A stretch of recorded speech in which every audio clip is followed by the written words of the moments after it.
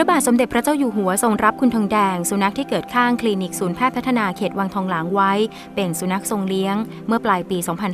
2541 แม้เป็นเพียงสุนัขจรจัด แต่ทรงยกย่องว่าเป็นสุนัขที่กตัญญูรู้คุณ และได้ทรงพระกรุณาโปรดเกล้าโปรดกระหม่อม ให้จำหน่ายเสื้อคุณทองแดง ให้คุณทองแดงได้ช่วยเหลือเพื่อนสัตว์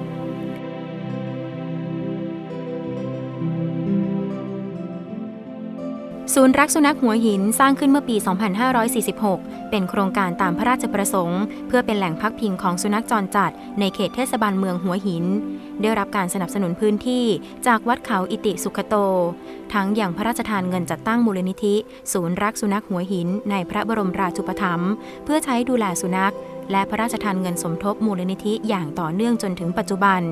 โดยมีเทศบาลเมืองหัวหินดูแลการดำเนินงาน และเมื่อวันที่ 13 กุมภาพันธ์ 2557 ได้เสด็จพระราชดำเนินไปทอดพระเนตรการดำเนินงาน เป้าหมายสำคัญคือ การลดจำนวนสุนัขจรจัด อาทิทำหมัน และรณรงค์ให้เจ้าของเอาใจใส่ ควบคู่กับการดูแลสุนัขภายในศูนย์ จัดแบ่งกลุ่มออกเป็น กลุ่มสุนัขโตเต็มวัยให้เลือดแก่สุนัขป่วยได้ กลุ่มสุนัขโตเต็มวัย แต่ไม่สามารถให้เลือดได้ รวมถึงกลุ่มลูกสุนัขสำหรับให้ผู้รับไปอุปการะ และกลุ่มสุนัขพิการเจ็บป่วย มีกิจกรรมหลากหลายอาทิ ทาราบำบัดเพื่อรักษาโรค และการว่ายน้ำในสัตว์ปกติ ยังเป็นการออกกำลังกายอย่างดี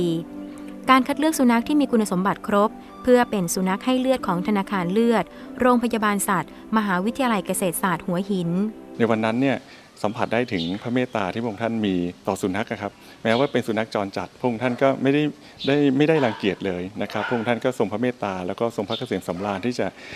ให้อาหารกับสุนัขจรจัดเหล่านี้นะครับ ตัวผมเองซึ่งเป็นผู้ที่ทำงานในโครงการนี้นะครับ แล้วก็ผมยังคิดว่าคนที่เป็นคนรักสุนัขนะครับแล้วก็คนที่มีใจที่อยากจะคิดช่วยเหลือสุนัขจรจัดนะครับ ซึ่งก็เป็นปัญหาอยู่และพระองค์ท่านทรงเป็นต้นแบบในการที่จะทรงนำพวกเรา เพื่อให้เห็นปัญหาสุนัขจรจัด แล้วก็ทรงอยากให้แก้ไขปัญหาสุนัขจรจัด เหล่านี้นะให้เป็นการแก้แบบครบวงจรธนาคารเลือดจากสุนัขจรจัดหลายคนมองว่าสุนัขจรจัดสามารถให้เลือดได้หรือเปล่า มีความปลอดภัยหรือไม่นะครับ ก็เรียนว่าสุนัขจรจัดเนี่ยก็สามารถที่จะให้เลือดได้ ถ้าเขาปลอดจากโรคนะครับ นั้นเนี่ยการที่เขาสามารถที่จะให้เลือดได้นะครับ แล้วก็เลือดของเขาเนี่ยมีคุณสมบัติ ที่ดีแล้วก็ปลอดภัยให้เลือดได้ ก็จะเป็นประโยชน์กับสุนัขที่มีเจ้าของนะครับที่เขาเจ็บป่วย แล้วก็รอการรับเลือดที่โรงพยาบาล สุนัขจรจัดที่เกิดมาไม่มีเจ้าของ หรือเคยมีเจ้าของที่รัก วันนี้ได้มีที่พักพิง และเป็นประโยชน์ต่อเพื่อนสุนัขที่มีเจ้าของ แต่สุดท้าย จิตสำนึกความรับผิดชอบของเจ้าของ จะมีส่วนช่วยลดปัญหาสุนัขจรจัดได้ในทุกท้องที่